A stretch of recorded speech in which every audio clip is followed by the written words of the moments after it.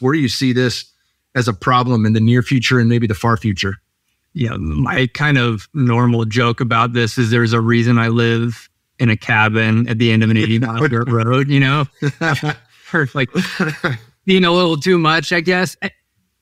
I'm not as bullish as a lot of people, to be honest, right? Like it is the math for artificial intelligence has been around since the 50s. We're just at an inflection point where the compute power, right, the actual physical hardware able to run large data sets through algorithms that have been thought of for years is coming to fruition. That's why you have things like ChatGPT.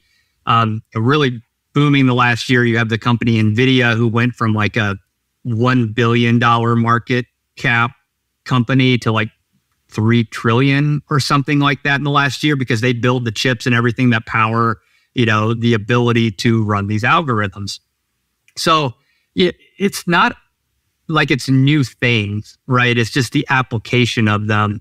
Um, I am more bullish that you know, there will always be human interaction and intervention in a lot of these things, which will keep a little bit of the nefarious purposes away. But at the same time, there are people at the helm, and some of those people, you know, want nefarious things. Like you see the ability, and where I get concerned, right? The ability to target ads or you know news articles at vulnerable individuals who might not be able to discern what is or isn't a either a, a real piece of information or you know they just don't understand the concept of targeting right and are able to kind of let it go and like i have experience there so i know when I'm getting certain ads for certain reasons. You know, people think, uh, oh yeah, I was talking about such and such yesterday, and all of a sudden I got an ad for it today. It's not that things are listening to you. It's like your actual behavior across all your devices, everything you're interacting with is being fed into some model somewhere for a company to be able to take an action and give you that well of a targeted ad.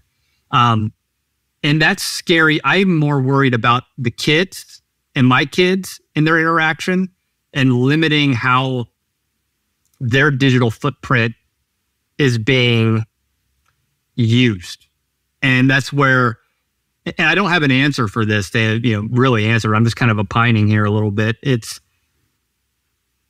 these generations that are coming up where their digital footprint is being tracked constantly, whether your kids on YouTube Kids or wherever, like there is a pattern being built there that some company that is funding that can use to then target them in a meaningful way for them, not necessarily for your kids.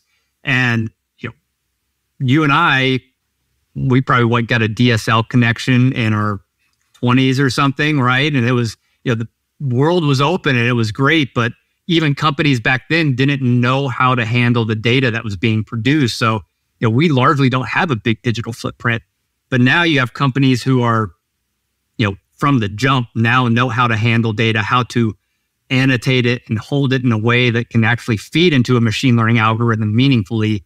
And, and that's going to be detrimental for our kids. And figuring out a way to limit that is vital. And I don't know how that happens. I don't know if it does happen.